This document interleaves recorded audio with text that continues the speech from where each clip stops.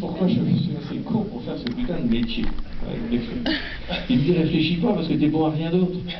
Et, et, à un moment ça devient vrai. Donc vous vous entêtez quand ça marche. Parce qu'attendez, si ça marche pas, vous êtes viré. Hein. Je suis pas propriétaire de mon job. Donc ça c'est chaque individu face à son destin. Hein.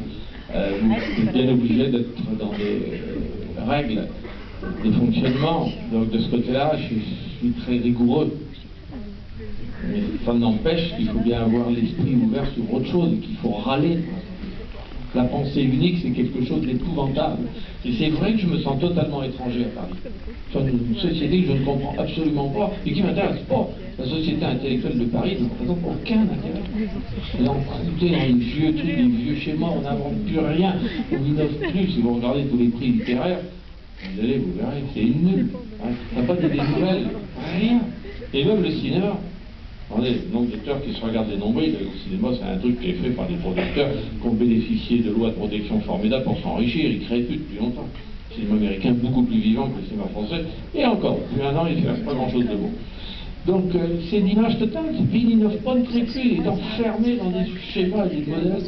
Dès que vous sortez une idée originale, vous êtes liquidé. Bon, alors de temps en temps, il faut forcer le trait, hein, c'est sûr. Attendez, est-ce que vous croyez qu'un interview dans Breton méritait de faire un truc dans le monde? Non, qu'un intérêt, un truc pour initier. Il n'y a pas un journal parisien qui m'en a pas mis plein la gueule. Par contre, j'ai fait beaucoup de lettres sympathiques.